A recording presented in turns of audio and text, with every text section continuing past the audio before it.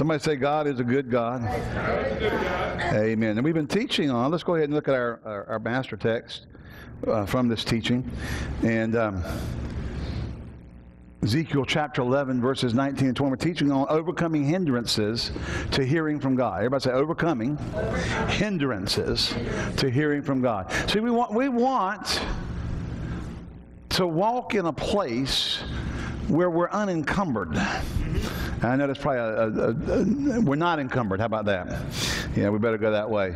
You know, the Bible says, lay aside the weight and the sins that do so easily beset us. You know, so there are sins will beset you, but you know, weights will too.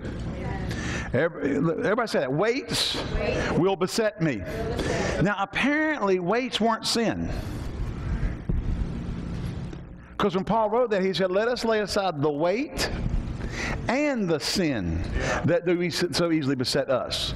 So what awaits? Things that encumber us, things that, that hold us back, things that are that are that are pulling us that are not sin. They're just things in our life that we haven't uh, we haven't gotten free from or overcome that hold us back. And so uh, we, we started uh, sh- sharing at the beginning of January on overcoming hindrances to hearing from God. Um, you know, I, Ezekiel says in Ezekiel 11, 19 says, in verse 20 also, and I will give them one heart, and I will put a new spirit within you, and I will take out the stony heart of their flesh, and will give them a heart of flesh that they may walk, listen, that they may. In other words, God's going to take out the stony heart, put in a heart of flesh, put a new spirit within them in order to empower them too. You know, when he says that they, that's empower you too. In Bible speak. In other words, he's going to empower us to what? Walk in his statutes, keep his ordinances, and do them. now, we spent some time on that back at the beginning. Let's go back and look, listen to it. I just can't do it. God said there's a spirit in you that empowers you too. Now, the New Testament term for that is, are you ready? I'm, I'm, going to mess with some folk this morning. I like messing with people on the internet. Hallelujah. Strengthening grace. Grace is not just undeserved, unmerited. I know that's what the concordance says, but you know, if you take that concordance definition and go stick it there where the word grace is used, you'll mess the Bible up. You won't even make sense what you're saying. Yeah. Let's take Paul when he's talking about the thorn. He said, you know, my grace is sufficient for thee. My undeserved, unmerited favor is sufficient for you. For when, in your weakness, I'm, you know, my strength is made perfect in your weakness. How does unmerited, undeserved favor make sense in the middle of a battle? It doesn't. No, strengthening. He's strengthening grace. Grace that strengthens makes sense in that place. So you got to take context. You got to take the context. You just can't listen. You know, if you look at the Bible, how boy, we're going to do a Bible lesson here. We're going to do an exegesis lesson. We're going to do a Bible on Bible interpretation. A lesson on Bible interpretation, real quick when they when they when they study the Bible, they go back and like like the Greek words, they'll study how it was used in classical Greek. In other words, how it was used in that setting of the era. Then they'll take it and they'll study how the, the translators of the Septuagint used that word to translate a Hebrew word. You know, what, what, what word they chose from the classical Greek to translate a Hebrew word, and then so you look at the Hebrew meaning and compare it to how that the Greek word was used, and you and you, and that changes the flavor or the somewhat the meaning of the word sometimes. And then you see how the New Testament writers use that same word in the New Testament in the context.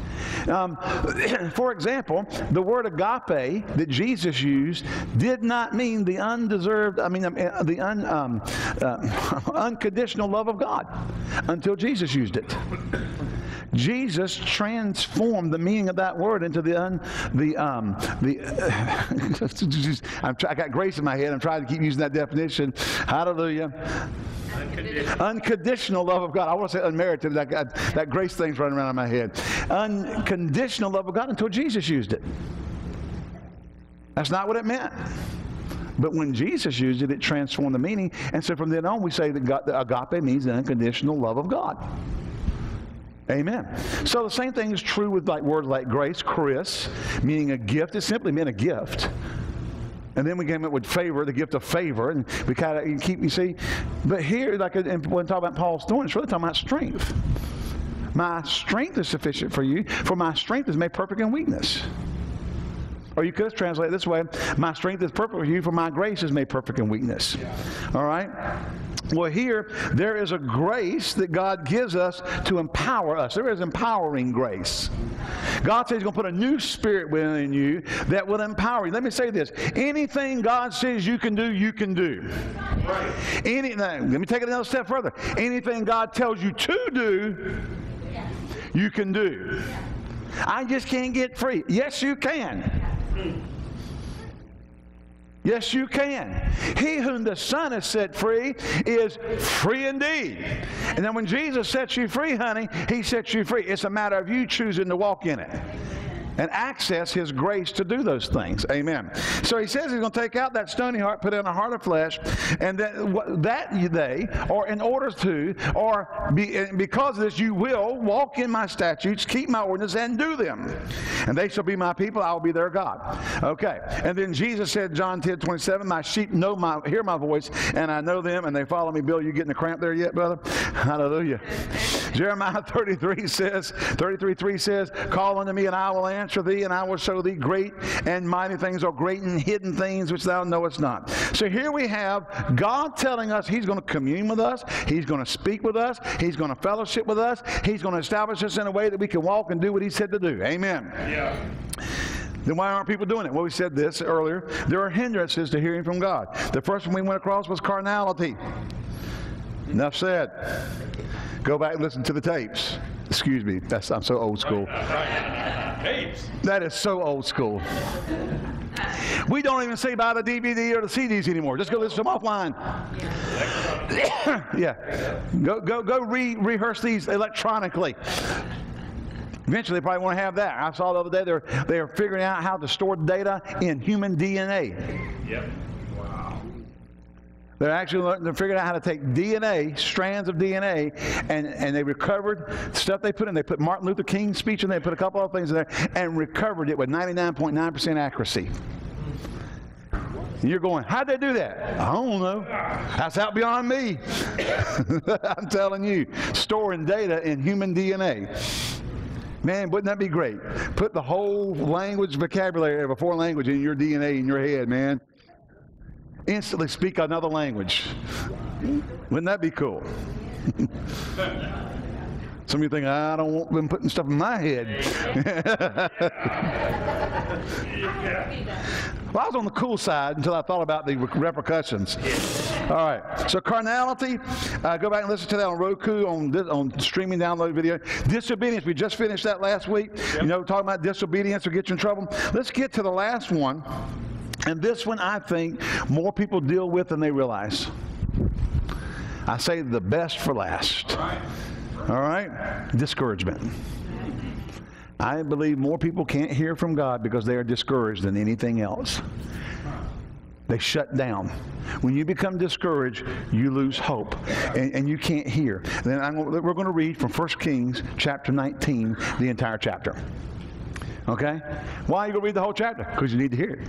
All right. All right. Now, let's let's give a little back uh, story to 1 Kings chapter 19, like 1 Kings chapter 18. All right, we're not going to read there, but I'm just going to kind of bring you up. You've heard the story. um, Elijah showed up one day and had a discussion with the prophets of Baal about whose God was God, and uh, so there was a challenge issued that the God who answered by fire, He is God. And so Elijah, knowing his God, knowing his God was the God, the true God, the living God, said, "Okay, you guys go first. And so he gave them about a week. And they went out there and they put their sacrifices up and they cut and they, I mean, they cut themselves and they cried out to God. He sat over there and mocked them. Is your God on vacation?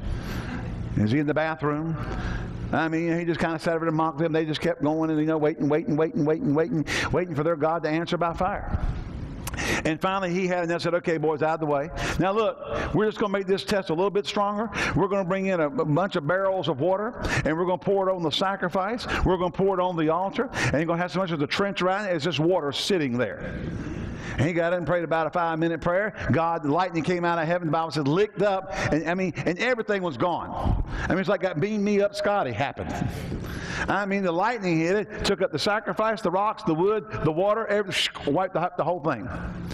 Guess whose God was God? Yeah. God is God. And God don't ever change. I know my God is God. Yeah. You guys need to learn that. Anyway, do some camp meeting stuff. Hallelujah. Amen. Yeah. I know that they're going, oh my God, that's, that's four tempos faster than what we do. Okay, but we believe it's coming. Amen. Hallelujah. Not that what you don't do is good. I just like I like that camp meeting stuff too. Hallelujah. Uh-huh. You guys cool? Y'all are cool? Okay. All right.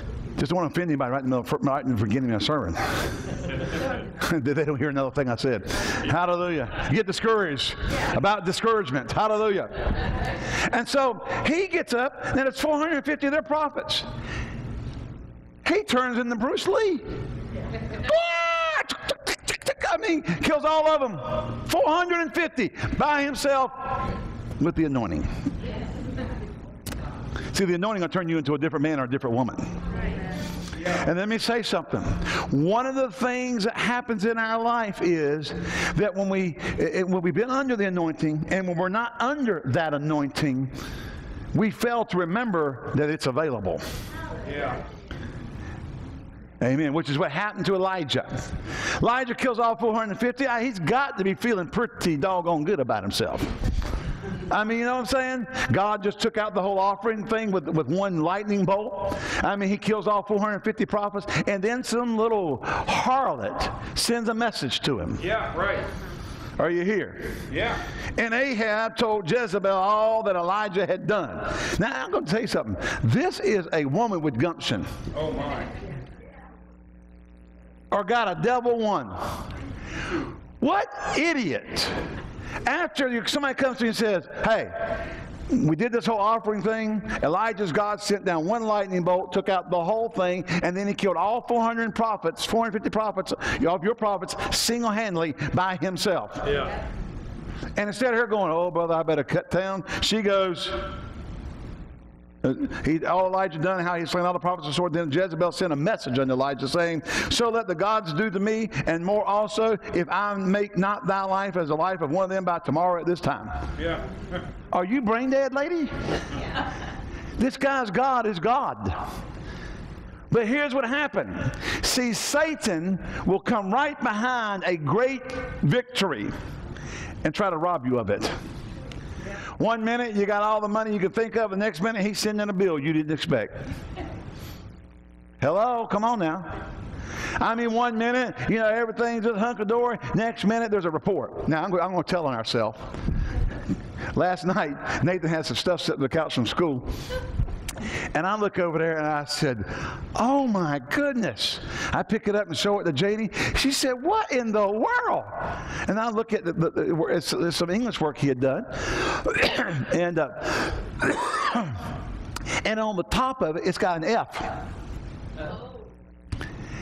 And I'm like, calling him. He's upstairs in the bonus room. He had the door shut. And I'm, because I didn't want to walk over there and tell him to come down. I was comfortable. I had the dog in between my legs. She was, finally I had to get it, go knock on the wall and say, Nathan, come down here. He comes down there. I said, son, is there something you want to tell us about your English? He said, what you talking about? And I held that up to him. He went, that's the section, not the grade.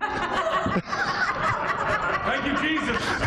oh, yes, that's exactly what we said. He said, he says, it's got to check. I said, A minus. I said, get back upstairs. I mean, because he had forgotten on his where his name and his course number was to put the section he was in, and he's in section F. And all right, it's right on the very front top, you know. I'm using F. What would you think? Don't you go, what were you thinking, Pastor? You were thinking the same thing.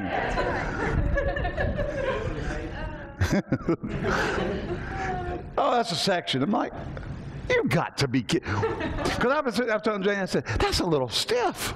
I mean, I'm looking at the stuff she had written. That's stiff. An F for this? No one has a chance. that's right. that's right. Nicholas Sparks flunks out. Oh, hallelujah. You know, and, and, see, things are going so good. You think, man, goodness, he just, you know, uh, right now we're waiting to hear his last grade to see if he, he, he made dean list tonight. He's close. Yeah. I, don't, I don't know what he's got on his last, that, that incomplete he had to do because of the, the, singing thing, but he's done that and we're waiting for that grade to come in. He made dean. We're talking about, here's a victory. Yeah. yeah. I mean, dean's list are right at it. It's a victory. Yeah. Boy, that could take your joy in a heartbeat. Are you here? As a parent. Well, Elijah had just had this major victory. And then the harlot said, I'm going to I'm to do you what you did to them.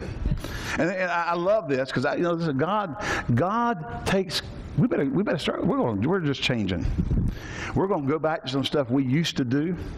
And we're going to act like we used to act because we're going to get a hold of what we used to have a hold of as of individuals and as a church. You got to watch what you say. She said, Let the gods do to me if I don't do it to you. Go read 1 Kings chapter 9, or 2 Kings chapter 9. Yeah. Now, Elijah didn't get to get in on the party, but Elisha did. And the word of the Lord was that when she dies, there won't be anything of her to bury. The dogs will eat it. And when the, the guys threw her out the window, the dogs came and ate. The only thing that was left was the palm of her hands and her head, her skull. You better watch what you say, especially when you mess with God's folk. That's the truth. Hallelujah. And, uh, and when he saw that, he arose. Listen to this. Yesterday, he killed 450 people by himself. He went for his life. What? He's discouraged. Yeah. He's discouraged. Jezebel said something. And now he's discouraged. Why? Because he's out from under the anointing and he failed to understand that that anointing remains available to keep you in victory. That the God who put that anointing on him to kill the prophets is the same God that will protect and spare his life. Yeah, go. That's good. Amen. And so you can come out of a victory, and in, in, in the down, in the coming down of that victory, Satan will always try to show up and rob the, the experience of that victory from you, so that you can become discouraged. And that's exactly what happened to Elijah. And when he saw he rose, went for his life, came to Beersheba, which belonged to Judah, and left his servant there. But he himself went a day's journey into the wilderness and came and sat down under a juniper tree. And he requested for listen to this, and he requested for himself that he might die. now, hey, I'm telling you, that's pretty doggone discouraged. Matter of fact, he's gone from discouragement to depression. Quit that quick. I said that quick. He's gone from discouragement into depression. Now, wait a second. Just a couple of days earlier, he's wiping out a whole slew of prophets by the hand of the Lord. Now he's ready to die. Yeah. See, we got to we got to guard ourselves. Can you say Amen? And um, and listen to what he says. It's enough now, O Lord. Take away my life, for I'm not better than my fathers. And the Lord said, "You want some cheese to go with that wine." Anyway.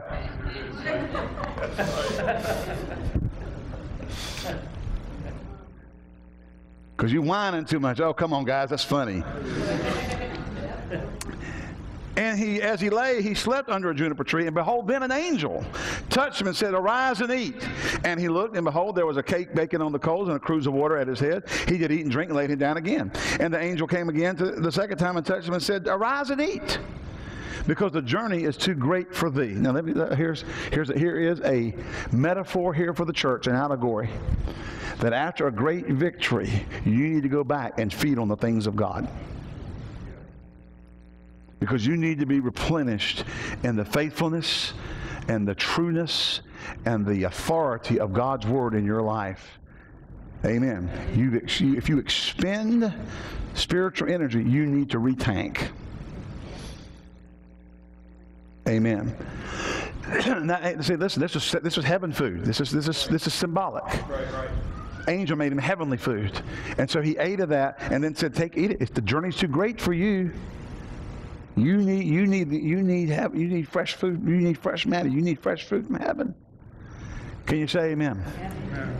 See, a lot of times we, after we've had victories, and then the devil comes and starts robbing us of all those things. I'm telling you, it's so easy to get uh, just, just so busy with everything, life, uh, fighting the battles. I'm going to tell you something. If you're in a battle that you're not winning and you don't have what you need to win it, forget it. Just go ahead and sit down somewhere and get fed, filled back up. Yeah, but if I do that, the world's going to fall apart. It's going to fall apart whether you do or don't. At this point, you better go. You better go get tanked back up and get strength for the journey.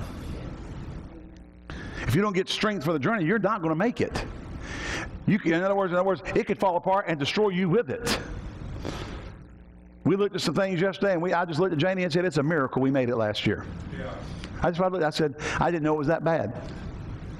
It's just flat out 100% a miracle we made it last year. I ain't figured it out yet. Have you? We don't, we don't know how it happened. We don't know how we made it last year as far as looking at numbers and stuff. We can't figure it out. I'm talking about personally. We can't figure out how it did it. I'm still trying to figure it And took care of the girls in Tulsa at the same time. We just can't figure it out. The numbers aren't there. When you look at paper, it ain't there, but it happened. And we're not behind. And we didn't go under. Ha ha ha on the devil. Right. Somebody else say ha ha ha on the devil. Ha ha ha, I'm the devil. And my God's faithful. I like this. Even when you're not faithful, He's faithful. Woo! Glory to God. He's a faithful God. Amen. Hallelujah. Glory to God. And uh, he said, The journey is too great for thee. He arose and did eat and drink and went in the strength of that meat 40 days and 40 nights unto Horeb, the Mount of God. Now, thank God. I'm telling you, you can get rejuvenated by the, by the things of God and you can go in the strength of that. How do, can you say amen? amen? Oh, thank God. I want you to know that when all is lost, when there is nothing in front of you, when everything's been taken out of you, there is something God can give you to strengthen you and to lift you up and to send you on your way to bring you to the place that He can speak to you and reestablish you and put you where you need to be. Come on, somebody say amen. amen. Hallelujah. Praise God. And he came thither to a, unto a cave and lodged there. And behold, the word of the Lord came unto him, and he said unto him, This is what the Lord asked him. Now I'm going to say it in English. What are you doing here, boy? what doest thou here, Elijah? I say, I say, something, what you doing here? All right. And Elijah said, I've been, listen, he's going to lay his case out. this is why he's discouraged. I've been very jealous for the Lord of hosts. For the children of Israel have forsaken thy covenant, thrown down thine altar, slain thy prophets with the sword, and I, even I only, am left, and they seek my life to take it away. I mean, you think that 1 Kings chapter 19, verse 10 is the foundation for the hee haw song. Gloom, despair, and agony on me. I mean, uh, it's got to be the same group that, that read this, went out and wrote that song. It's the gloom, despair song. I mean, I'm the only one. Yeah, yeah, but you're the only one. You took out 450 of their prophets. God had a miracle. Even if you are the only one, you're walking with God. But he forgot that because a whore spoke. Right. Isn't that a strong word? No, that's what she was. Yeah. Bible called her a harlot. I mean, that's just that's just King Jimmy for whore. I know y'all. The Bible calls talks about the whore of Babylon. It's not a it's not a bad word. Just when you just don't go around calling everybody that. But she was. you just can't call everybody that because they're not. But she was. And she just spoke some little word to him. And he ran off and hid and discouraged. And now he's depressed, wanting to die. And, and he said, Go forth, stand upon the mount before the Lord. And, the, and behold, the Lord passed by, and a great and strong wind rent the mountains and break it into pieces before the Lord. But the Lord was not in the wind. Now, I'm going to say something else while we're getting into this. When you're in the middle of discouragement and, and despair and in the middle of um, depression, quit looking for the big booming sound of God talking to you. You're going to miss it. He's not in the wind. And if you keep looking for it, the devil will send somebody your way to be your wind and give you a word that calls you to miss God.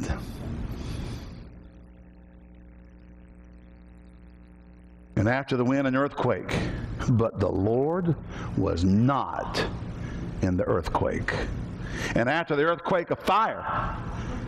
But the Lord was not in the fire. What? What does Pastor Hagin say? Don't miss the supernatural looking for the spectacular.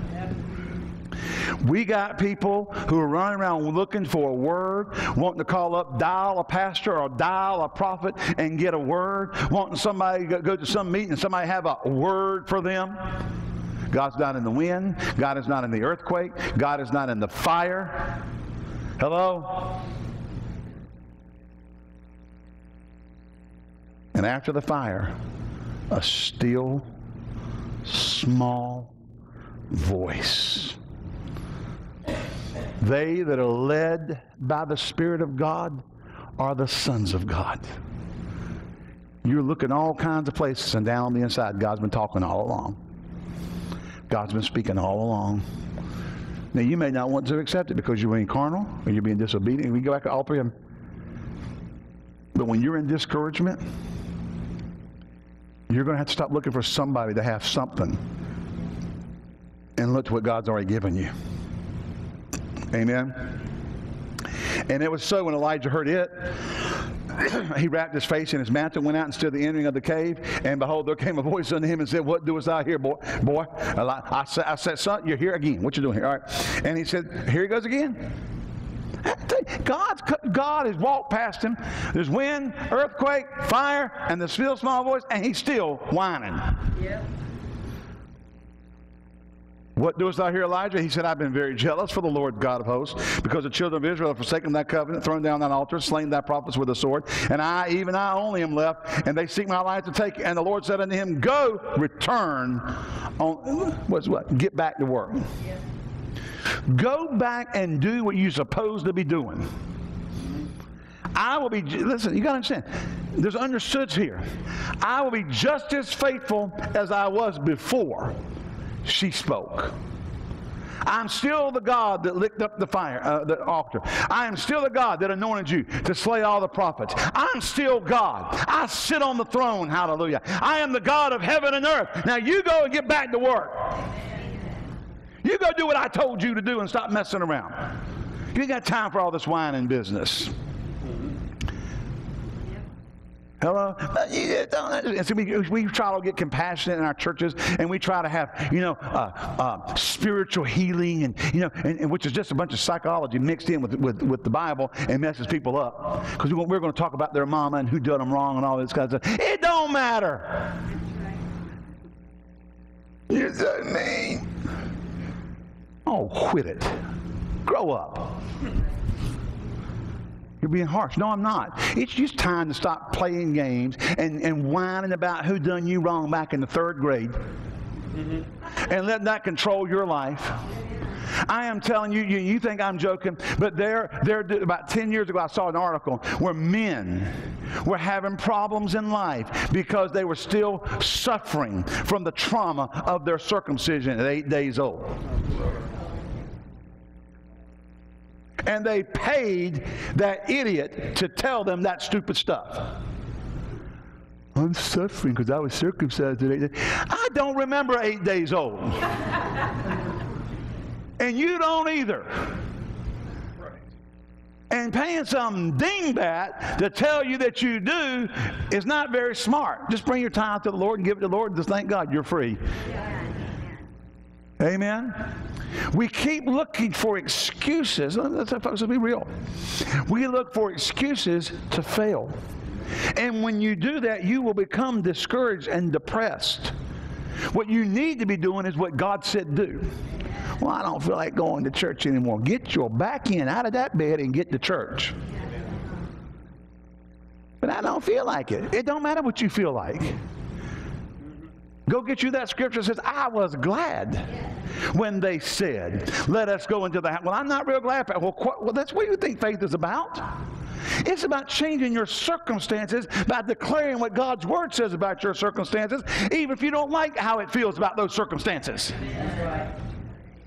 When you get up and say, your body goes, You don't want to go to church? Pastor Ed's mean. He's going to talk about people this morning who go to psychologists. There's no such thing as spiritual healing anyway. Your spirit gets born again, your mind gets renewed, and your body gets healed. Yeah. Hello. I said, uh, hello. You know, spiritual healing came out. A lot of that stuff came out of the 70s and 80s. We started getting uh, started mixing all that psychology in and trying to use psychological techniques with the Bible, mm-hmm. and diagnosing it with psychological terms, and then trying to get people to get healed and use all the same techniques, and they'd throw a little Bible in here and there to make it Christian. Folks, if you are dis- if you're dealing with discouragement, here's the word of the Lord: Go return. Mm-hmm. God didn't sit here and God didn't, did you notice God didn't go, bless your heart? The things that people demand of the ministers today are things that God didn't do. God didn't go, bless your heart, Elijah. Oh, yeah, you have done exactly what I asked. Bless, buddy, I'm telling you, I don't blame you. Look, you want to come on home now? Come on. Because I, I, I fully understand what you're going through there. Is that what he said to him? Did he go, you know, uh, it's been too, it's, it's, really my fault, Elijah. I put too much on you. I put more than you could handle, and, and it's just not fair to you that I did that to you. So, look, you know, I, uh, I'm going to give you a pass on this. Come on home. Is that what he did? Did he say you need to go talk to Dr. Ruth? or, or Phil? Didn't send him to either one of them, did he?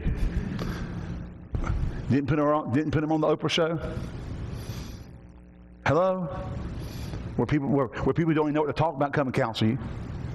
Who don't even know how to counsel and don't even know what counseling is, and they're going to give you, I think you ought to do such and such.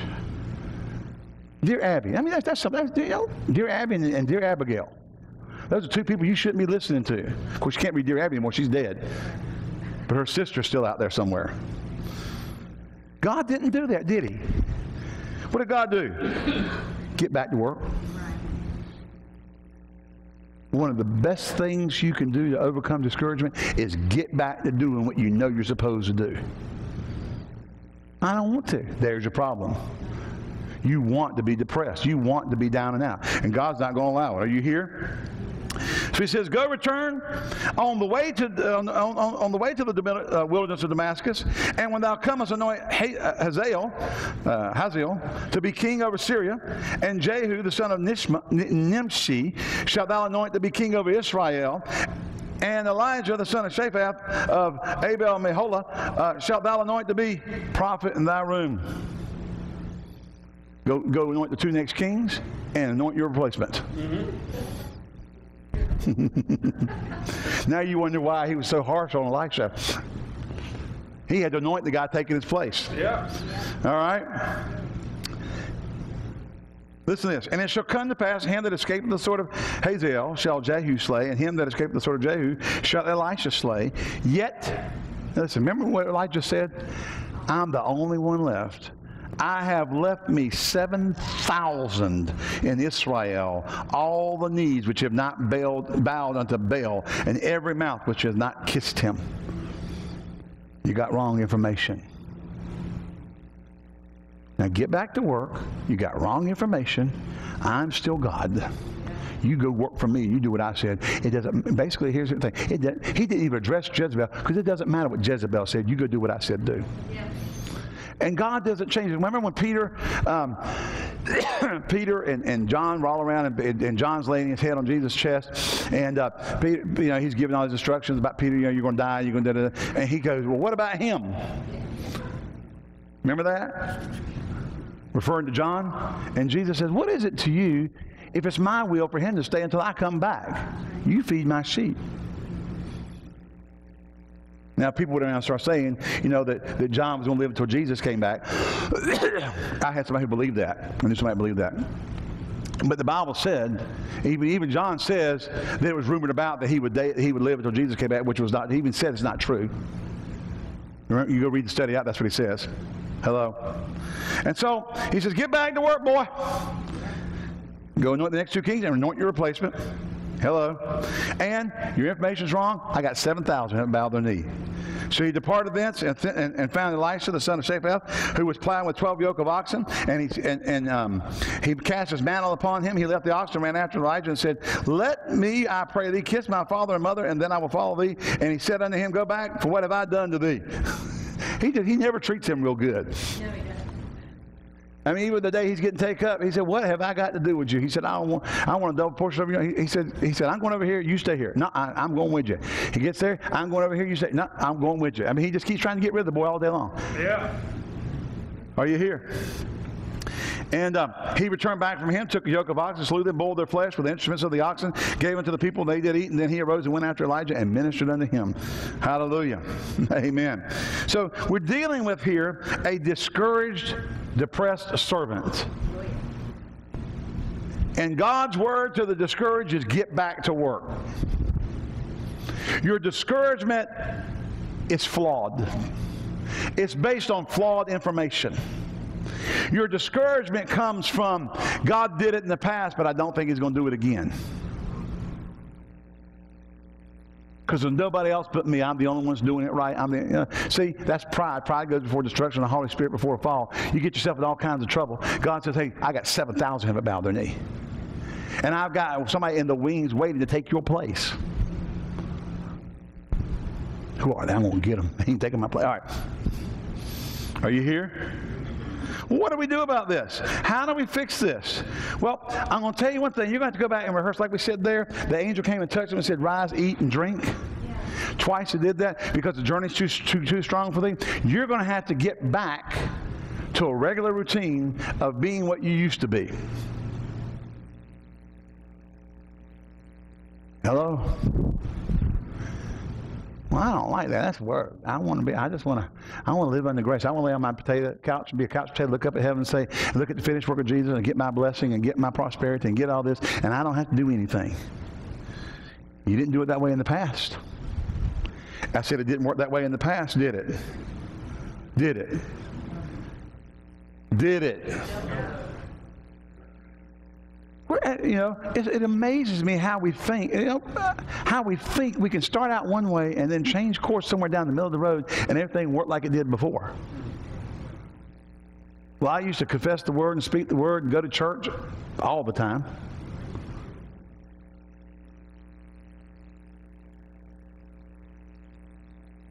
You need to be in church all the time every chance you can get, and whatever it make, whatever it takes to get there. Why? Because there are things there by the Spirit. You're going to have a service. Have you ever heard this?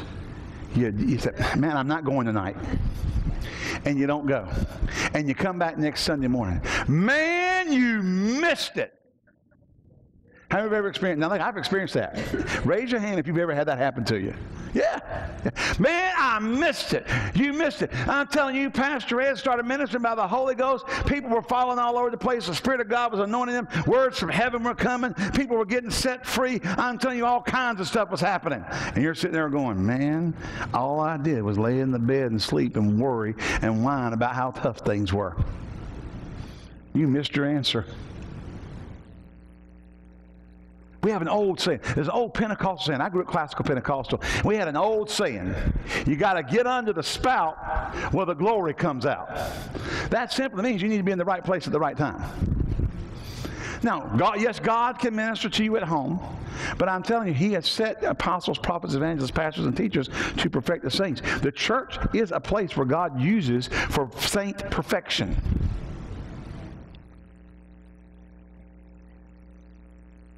And the more you draw, the more it'll flow. And the more you expect, the more it'll flow. And the more you make a demand, the more the, the stronger the flow will be. Amen. So what are you going to do? We're going to have to get back to doing the things the way, the way we used to do them. Amen. Psalm 42 1 says, or Psalm 42, as the hart panteth after the water brook, so panteth my soul after thee, O God. Man, we got to get back to that. We got to get back to our heart panting after God. Somebody say amen. amen. My soul thirsteth for thee, for the living God. When shall I come and appear before God? My tears have been my meat and my day and night, while they continually say unto me, Where is thy God? When I remember these things, I pour out my soul in me, for I have gone with the multitude. I went with them to the house of God with the voice of joy and praise, and with a multitude that kept holy day. Why art thou cast down on my soul? And why art thou disquieted in me? These are, these are, talk, these are just terms of depression and discouragement. This is, this is the response. Hope thou in God, for I shall yet praise him for the help of his countenance. Let me say something. I'm going to talk to every single one of you in this room. I'll guarantee you there was a time in your life when discouragement tried to come. You said, No, my God is faithful. My God is my hope. My God is my answer. But you've had some experiences, you've had some tough places. You've had some stuff happen where it just didn't look like. I'm going to tell you something. Last year for us, there were some times, I, I mean, it's like, where's God? I mean, you, you didn't really mean it, but you're, you're, you're thinking, I'm, I mean, I need miracles. And then I look and find out we had miracles. Yeah. I just you see, you can get in the middle of it and can't even see it happening. so true. That's so true. You can get in the middle of something and can't even see that God is sustaining you. Yeah, yeah. Be careful, right? Ooh. You can get right smack dab in the middle of it and you can't see the trees for the forest of problems, and God is holding you steady right in the middle of it. I like what Dad Hagin used to say. He'd say, I'd, I'd stand before the Lord and I'd say, uh, live or die, sink or swim, go over, go under. We're going to continue doing this. And he said, it looked like we were going to do all of them. Yeah.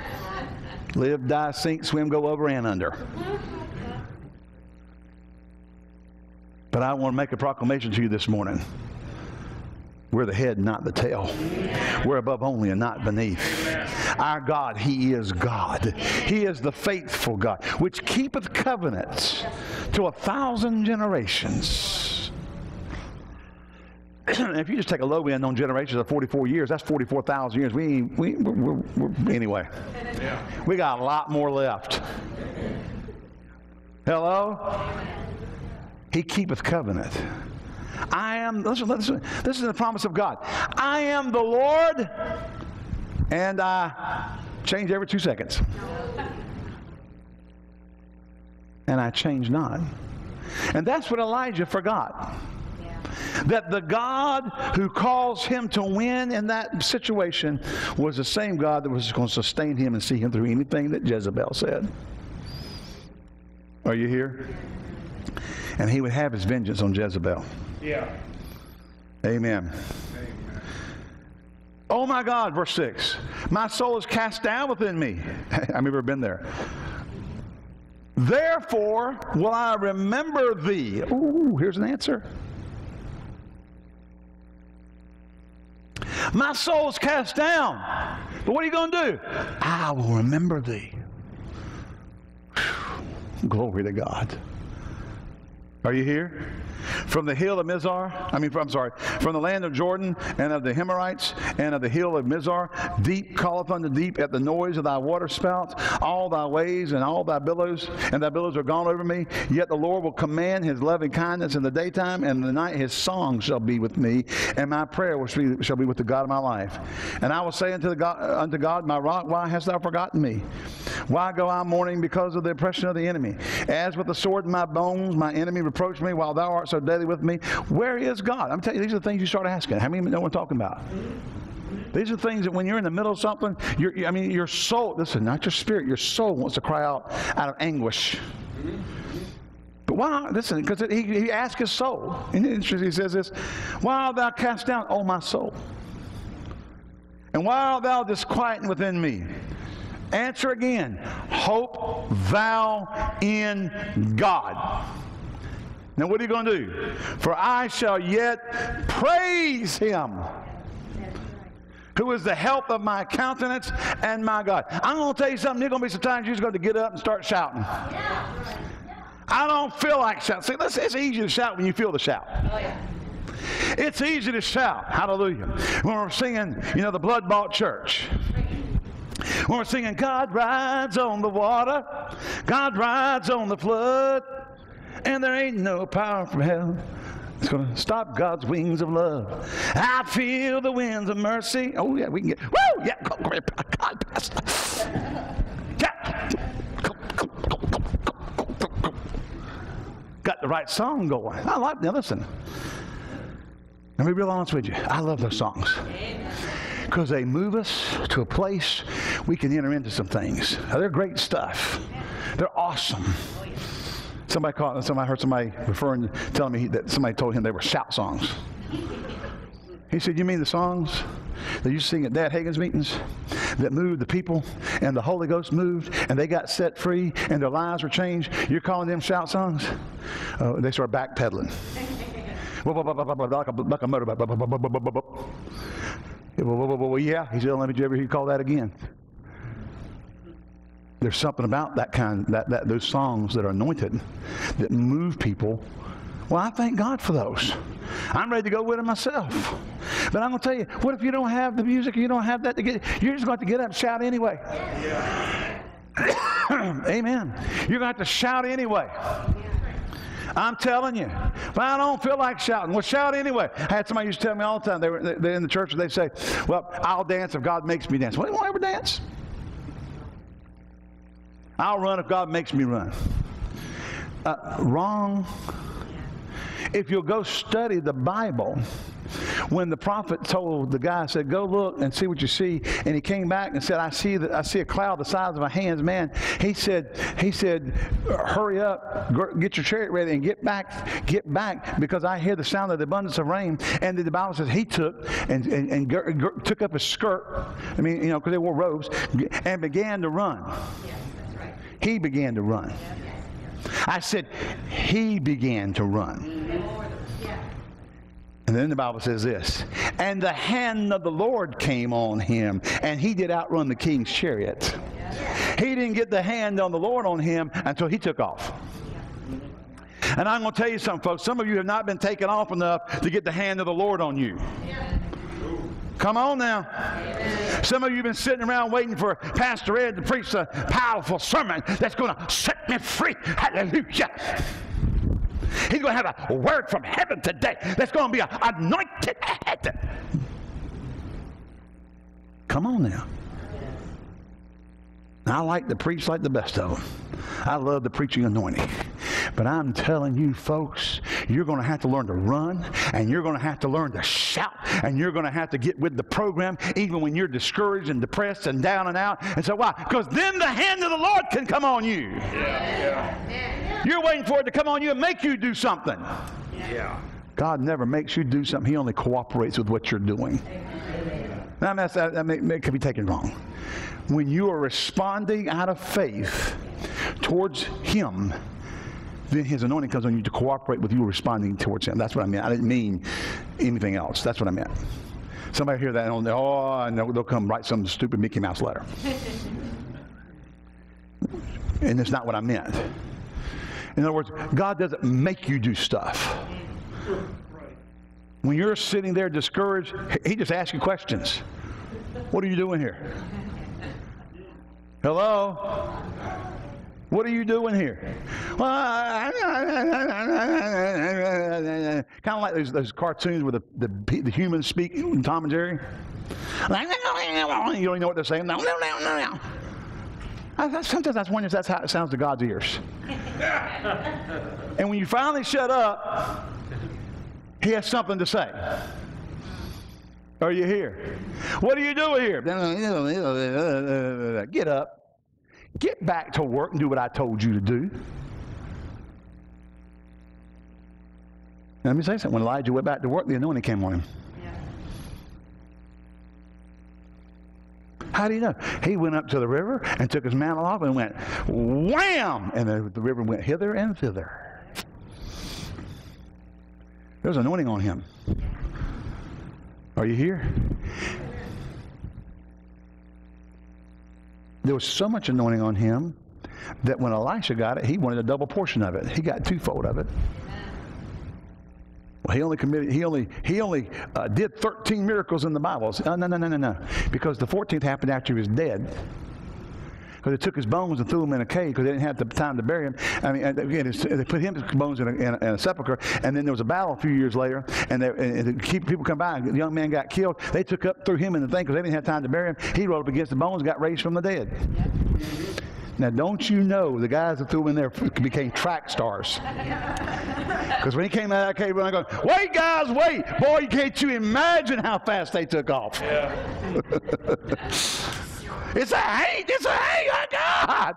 They're gone, baby. they ain't hanging around here for this. No.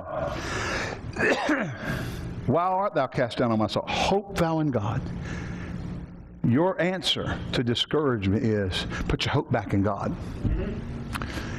And I'm, and I'm going to make a strong statement right here. Because people will say this God has not let you down. God has not been late. God hasn't been missing in action. Are you here? You're not wanting to put your hope back in because you're afraid he won't show up. And you got to get your hope back in God, and you got to get back to praising God, and like let the angel touch your, your, your side, as it were, and go eat heavenly food again until you're ready for the journey. And I can tell you this you'll hear from heaven. I said, You'll hear from heaven, and God will speak. But you're going to have to make some adjustments. Hmm. Hello? Covers over your head ain't going to cut it. Fussing about somebody else ain't going to cut it. Whining to everybody you see ain't going to cut it. Hello? You're going to have to get back. To have to get back in the program. Amen. You're going to have to get back to where you run like the wind. I remember the movie back in the, uh, I guess, late 70s, early 80s, Chariots of Fire. You know, and Eric Liddell's running the race, and the guy comes up on the inside track and just knocks him to the ground. Now, today they've been disqualified, but you know, this is, they didn't have instant replay, they, you know, whatever. I guess it was just a bruising sport for track. And uh, he's there, he's way behind. He gets up and begins, he, he gets up and begins to run. So you can get knocked down. Paul said, I have been knocked down, but not knocked out. Hello? Now, last night we watched on um, uh, the, the uh, featherweights on yeah, UFC or Fox. Those little guys, man, they are mean and nasty. I don't know if I want to fight them five foot three and, and 125 pounds. And um, but but the guy that lost, now listen to this: the guy that lost knocked the guy down that won at least four times. I mean, knocked him down. I mean, boom, pow. That guy kept getting back up. Now, the guy that got knocked down four times had more than 100 strikes more than the guy who, who knocked him down. He kept waiting to knock him out. And the devil, hello? The devil may make you think he's knocked you down and out. You've just been knocked down. You're not knocked out. You get back up and you keep wielding the sword of the Spirit, praise God. And you keep speaking the word of God. You put your hope back in God. Don't put your hope in anything else. Put your hope in God. You put your hope and your trust in the Almighty that He's going to bring you out of that circumstance. Yeah, but Pastor Ed, I did some things that got me here. Repent! Then put your hope in God. Say, Lord, I made a mess of this. I didn't do this right. I handled this wrong. Forgive me. He'll forgive you. And now, put your hope in God. Oh, you hear you going home.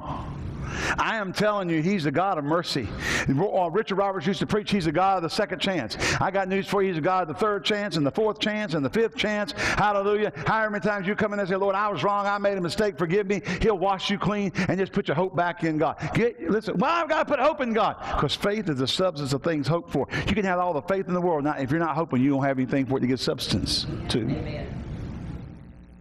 If you've lost your hope, you can have great faith. What's it going to get substance to if you have no hope? Yeah. If you've lost your hope. Loss of hope is discouragement, despair. I like, now some of you, you probably won't believe I watched this. My, I had girls. And so we watched things like Anne of Avonlea and Anne of Green Gables. Four hours to see a kiss. I mean, you know, two miniseries, and she finally kisses the guy and agrees to marry him. Anyway. But I remember back in the very beginning when she first got adopted by Marilla, and uh, she's in the room and she had tried to get her hair dyed, and it was horrible. He, he said it would be a lovely raven black, and her hair was green, you know. She hated her red hair, and if you know any of the Anne stuff, you, it was all about her red hair. And uh, she says, I'm in the depths of despair. And Marilla looks at her and says, To despair is to turn your back on God. Wow. How, how, I was figuring out, trying to figure out how you're going to make a spiritual lesson out of Anne. to despair is to turn your back on God. What do you mean? See, when you don't have any hope, you turn your back on God as your answer. You're looking to some other means to get your situation fixed instead of putting your trust and your hope in God. You're wanting somebody else to come through. Honey, there's nobody else to come through. There's nobody big enough to fix your mess. But God is God. And he don't ever change. Amen. Are you here? God is God. Thank you. Amen. And so the, the psalmist asked all his rhetorical questions, and then he answered with one statement Put your hope in God. Where's God? Why aren't you here? Why hadn't this happened? Why hadn't that happened? Answer! Put your hope in God. But I just ask, where is God? Put your hope in God. But, but, but, but, but, stop button. You goat. Be a lamb. Yes. Yes. Hello? That's a little corny, but you get it. Yeah. We're the Hee Haw Church. Anyway. Hallelujah. I still haven't got my copy of my DVD. Working. it's a work in progress. Hallelujah. I just thought I'd throw that out there. Maybe I'll get it sooner.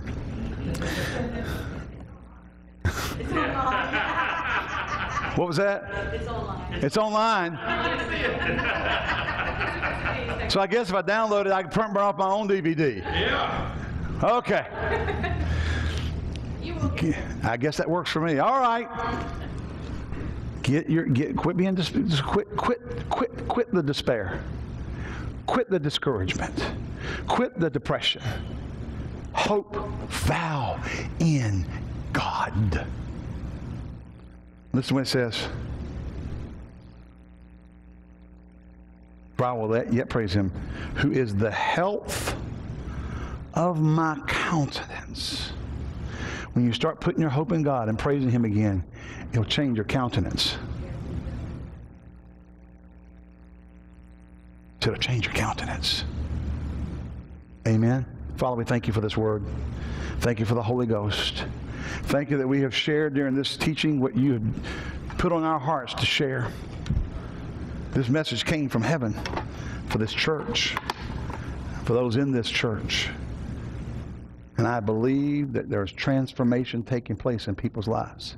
Some may be still sitting here today going, Oh, I just wish it were true. I wish it would work. And the Lord says, Put your hope in me. Put your hope once again in me. Let go, listen, release the fear step out in faith and put your hope in God. Put your trust in God. And let God restore and renew you in your spirit, in your mind. Let the anointing of God that dis- listen, this word has been anointed of heaven, and I decree that it destroys the yoke of bondage in Jesus' name. Because you have sat under this and listened to this and received the word of the Lord. Receive with meekness the engrafted word, which is able to save, sozo, restore, make whole your soul. God's doing a work in you because of this word. And there's a restoration taking place, a freedom to trust Him again, a freedom to put your, a freedom to put your hope in Him again. In Jesus' name, we decree it and declare it and call it so.